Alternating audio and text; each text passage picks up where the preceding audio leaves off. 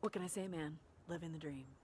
What is the dream, you ask? Well, let me explain. The dream is simply to be paid to travel and do what you love. Oh my goodness, that is the dream. And I'm living it, and I'm up here in Truckee meeting wonderful people, sharing my musical knowledge and my dance knowledge and my rhythmic knowledge. And you know what my message was to these people as I shared? I have kind of a signature approach to how I teach dance.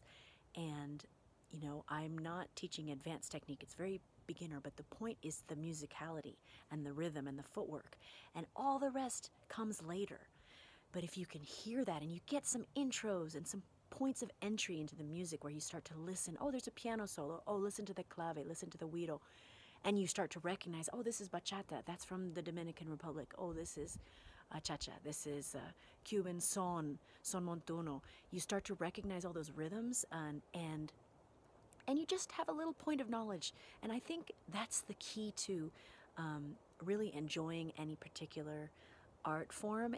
It's not like you have to become an encyclopedia, but if you can find an entry point and something to just sort of to grab hold on, you know, to cement your knowledge.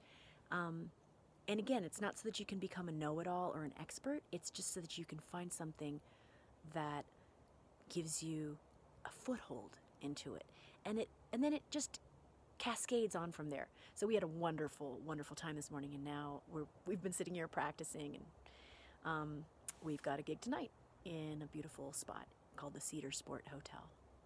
So living the dream.